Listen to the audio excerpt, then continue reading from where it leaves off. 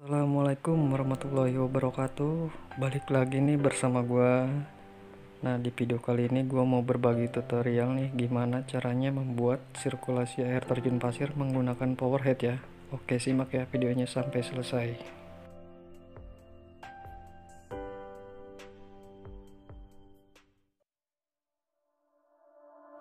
Nah seperti biasa kita membutuhkan pipa akuarium ya atau pipa bening dan selanjutnya sambungan pipa L.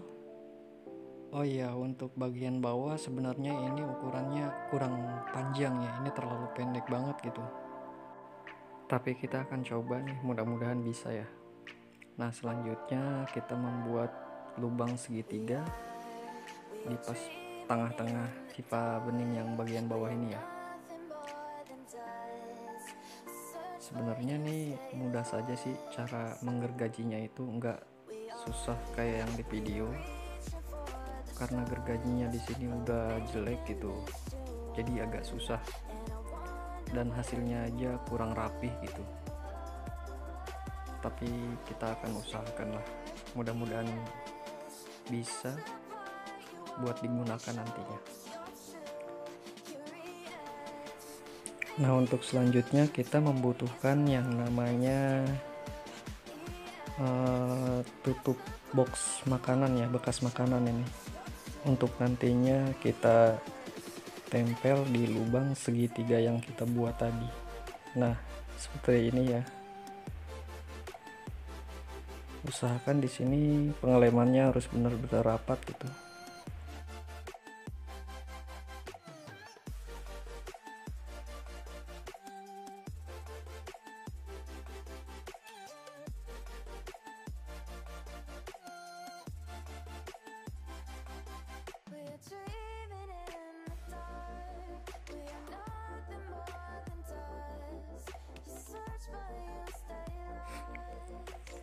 nah lalu kita gunting sesuai pipa ini ya.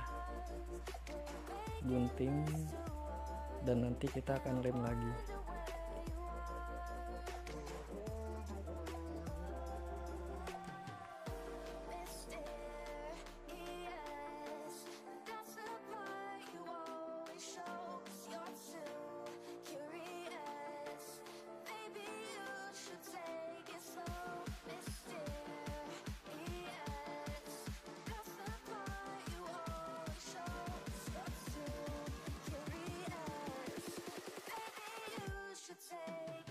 Nah, di sini terpaksa gue menggunakan puntung rokok nih agar pengelemannya itu tambah kuat ya. Karena tadi kan e, ketika memotong pipanya itu nggak rapi.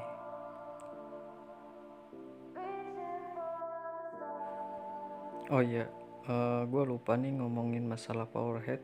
Di sini gue memakai power head yang pH-nya 1200 ya atau 1000 liter per jam sebenarnya terlalu besar ya uh, untuk digunakan di tank 30 gitu. Karena gue mau membuat air terjun pasirnya itu di tank 30 cm saran gue sih pakai yang kira-kira 400 atau 600 liter per jam. Oh ya di sini kita membutuhkan juga yang namanya corong bebek dan selang kita masukkan ke bagian pipa bawah ya. Tapi kita kasih seal tip dulu agar kencang nantinya.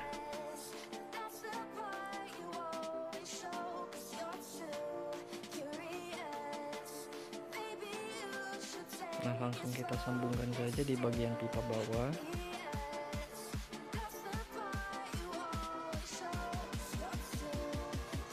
Dan masukkan ke lubang aerator yang satunya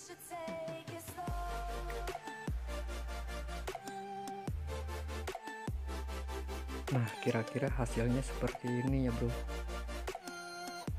Sirkulasi air terjun pasir yang menggunakan power head. Oke, langsung aja kita tes. Mudah-mudahan bisa ya.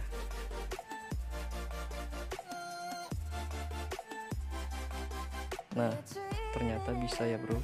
Cuman di sini kekurangannya dari corong bebek atasnya gua tadi gua rubah ya agak kurang rapi dan bagian bawah juga agak kurang rapi juga.